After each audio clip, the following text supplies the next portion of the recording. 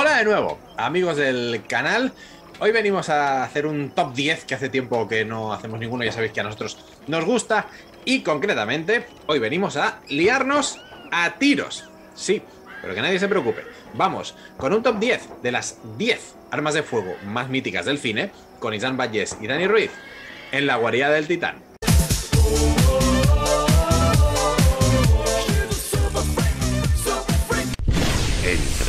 Nosotros en la guarida del titán. Efectivamente, el cine va muy asociado también a las armas de fuego en todo tipo de películas y géneros y hemos repasado las 10 que para nosotros cumplen los cánones más importantes para ser realmente míticas por diferentes motivos y dan son 10, podría ser alguna más, pero creemos que desde luego todas las que están son importantes.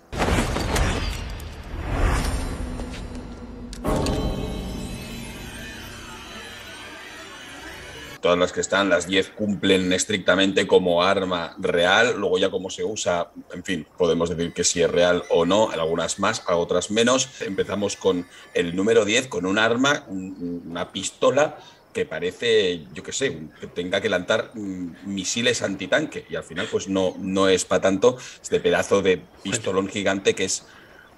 Bueno, al final el calibre es el No me que es, gustaría ¿no? Y- que me dispararan con ella. no, desde luego.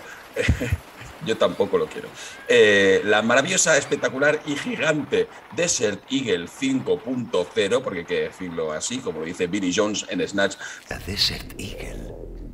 Punto 5-0. que durante una época fue el arma de los villanos, ¿no? Del- del- de la gente mala, como por ejemplo Demi Moore en Los Ángeles de Charlie. Sorry, Charlie.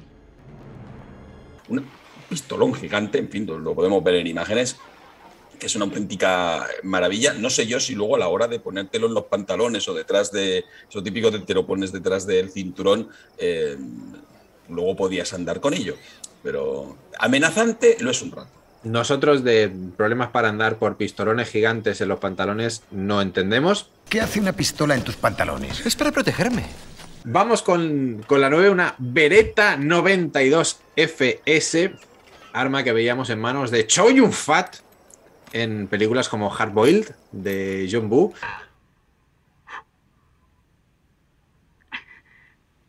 Y sobre todo en las manos de Martin Riggs de Mel Gibson en Arma Letal, con la que podía acertar a un mosquito a no sé cuántos metros, según decía,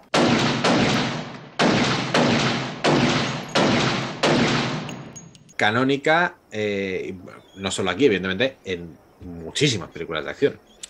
Más pequeña, más manejable, igualmente letal, ¿no? Sí. Suena un poquito más de... ¿no? Un poquito más así. Eh, bueno, pues es una arma maravillosa que todos recordamos eso, ¿no? Chow Yun Fat con su gabardina comiendo, que se pasaba la película comiendo y haciendo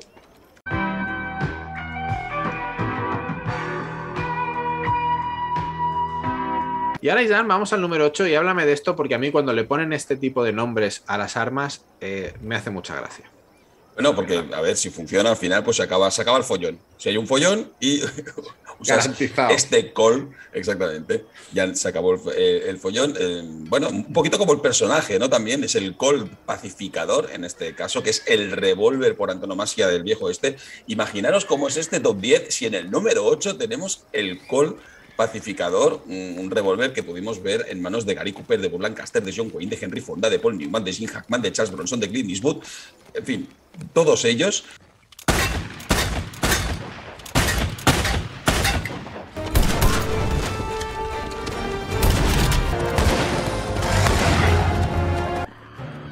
Then I must be a demon too. And I'm already dead.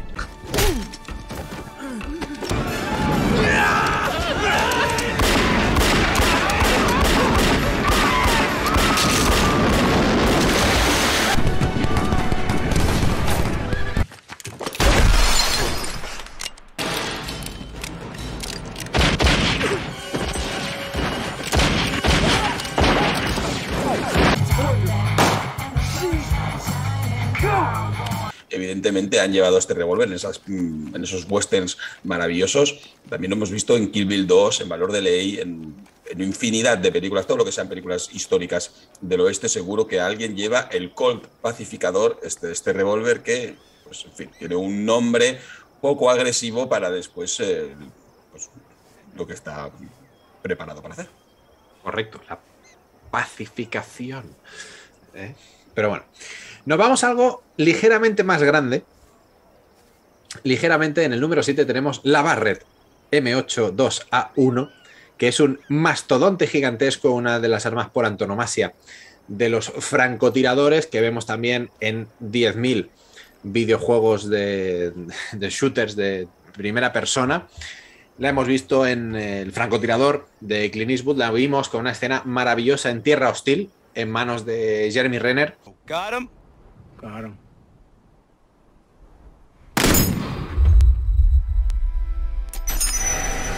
Películas, eh, peliculones como Ases Calientes con Ryan Reynolds, con Ray Liotta, Ben Affleck, Chris Pine, Andy García, Tommy Flanagan o Jason Bateman es una bestialidad que dispara balas del calibre 50.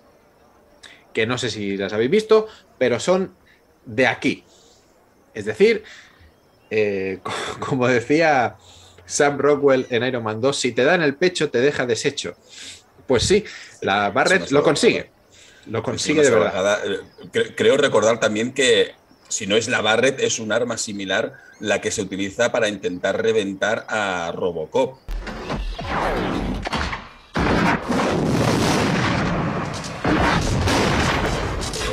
Y nos pasamos a una, iba a decir, algo más grande. Telita también, la 6 de Jan, y también muy mítica. Sí, la M134 Vulcan. Es hora de sacar al impaciente del saco. Ahí vamos, cabrón. Más conocida como la impaciente, esa especie de Gatling maravillosa que podíamos ver cómo la llevaba Jesse Ventura en Depredador. Él, como era una bestia parda, y evidentemente Arnold Schwarzenegger en Terminator 2 también lo podíamos ver, lo pueden llevar, en fin, como si fuera un bolso.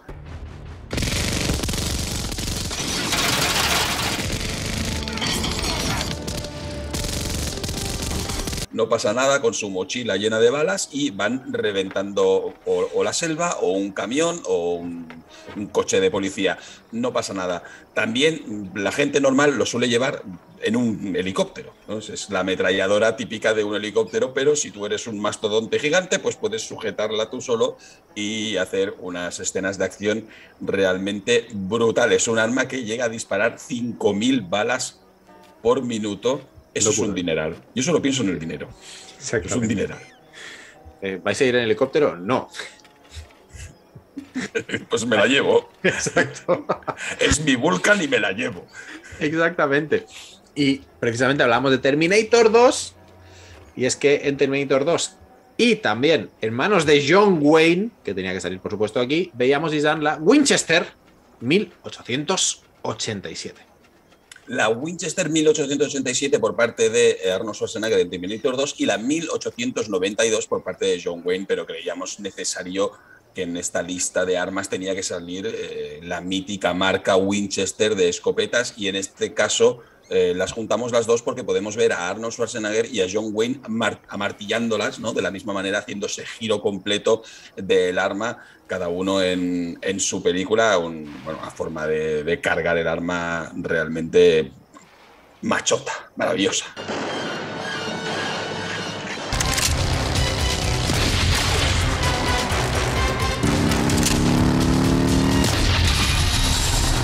Mola. de macho de verdad. So, solo, solo, haciendo esto ya matas a tres, luego ya disparas y todo. Eso, con esa molonidad ya, ya has ganado. Eso es así. Y si antes aparecía el apellido Colt, que evidentemente ha tenido una relevancia enorme, también tiene que aparecer otro de los grandes de la industria armamentística, como es Smith Wesson, en este caso la Hand Ejector, segundo modelo, que hemos visto, Isan, en manos de mucha gente en el cine. La hemos visto en manos de mucha gente, pero sobre todo en manos de el grandísimo, el espectacular, el maravilloso eh, Indiana Jones.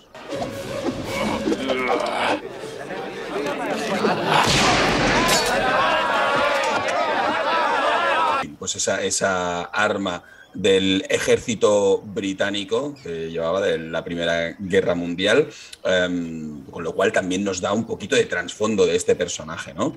Eh, si te parece, antes de llegar al top 3, hacemos un pequeño bonus track, hacemos un- una pausa, un pequeño receso, porque si hablábamos de grandes apellidos, Winchester, Smith Wesson, Colt, aquí tenemos un apellido que nos sonará por otra cosa, pero Sí. que curiosamente eh, también podemos tener en la lista porque es que Buffalo Bill llevó tanto para sus películas como para sus eh, obras en el circo, cuando hizo el circo por toda Europa, como también en la vida real, llevaba una Orbea, una pistola, un revólver, en este caso, Orbea, modelo número 3. en fin, pues, pues nada. eh, Es- es Orbea que, brutal. de- que después se dedicaría a otras cosas, como Sí. todos sabemos. Por suerte a las bicicletas. Eh, yo he flipado con esto del revólver de Buffalo Bill. eh, maravilloso, maravilloso. Los hermanos Orbea, de Eibar. ¿no? Eh, flipante, flipante. Me he quedado de piedra. De piedra. Yo he tenido alguna bici Orbea. De momento, mm, revólveres no. no. no lo descarto, pero de momento. Después del receso entramos ya en el top 3, en el podium. Atención, que esto ya es canela fina. También parafraseando a, a Sam Rockwell en Iron Man 2, los Montecristos. En el número 3, Isan. La Walter PPK. Walter PPK. Calibre 765 con un impacto como el de un ladrillazo en una ventana eh, el arma utilizada por el agente 007, si hay alguien cansino como pocos con su arma, porque alguno ha cambiado, Indiana Jones vimos que podía usar algún otro modelo, ahora seguramente eh, nos, nos lo han dejado en comentarios, bueno, no solo usa esa arma, correcto, pero en cambio 007 sí que ha usado siempre esta Walter PPK, que la disparaba en 20 de sus 25 películas, hasta ahora no sabemos si continuará con ella, eh, y nada, pues en la vida real fue la primera arma corta que podía llevarse con una bala en la recámara sin el peligro de eh, dispararte en... No, llevas una pistola en los pantalones. ¿Qué hace una pistola en tus pantalones? Es para protegerme. ¿Y cómo harás para no volarte los cojones cuando te sientes? Lo cual fue una ventaja. No nos vamos a engañar. Eso es así. Pasamos al número 2 y nos vamos. Hablábamos antes de armas de discutible tamaño. La M60.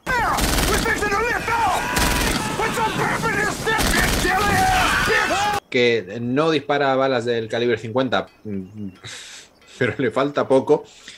Y eh, que es eh, una ametralladora que utiliza Sylvester Stallone eh, cuando ejerce de Rambo.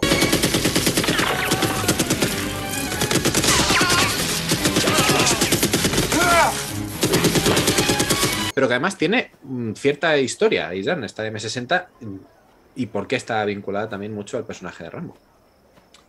Sí, porque la M60 está vinculada un poquito a la, a la guerra del Vietnam, ¿no? Es, es- esa ametralladora gigante con esos, mm, ese trípode que llevaba en el, en el cañón y que en teoría debía usarse pues, pues puesta en el suelo o puesta en, en- en- Pero no, Rambo directamente la cogía, tenía ese simbolismo de, de arma del ejército americano, pues todos con sus escopetas o con sus ametralladoras y luego uno iba con el cacharro ese gigante y eh, pues nada, este es- Sylvester Stallone era capaz de, no, no recuerdo si al final llevaba dos, pero como mínimo una disparándola eh, como un loco.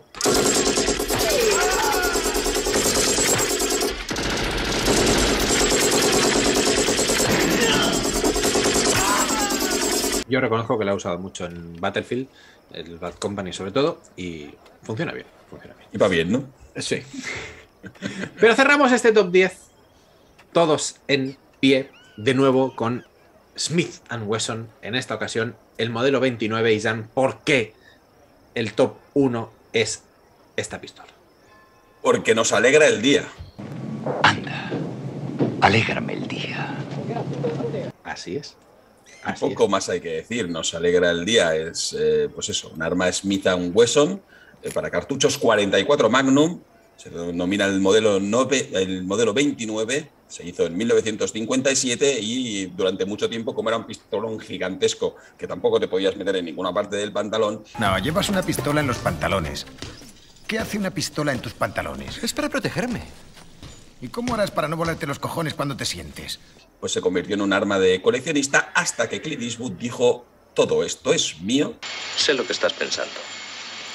Si disparé las seis balas o solo cinco. Y eh, la denominó el revólver más potente del mundo en las películas de Harry, ¿no? Por ejemplo, en Harry el Sucio, evidentemente, aunque también la vimos empuñándola por otro gran personaje del cine. ¿Cómo es Robert De Niro? En Taxi Driver. Mira esto. Es una maravilla.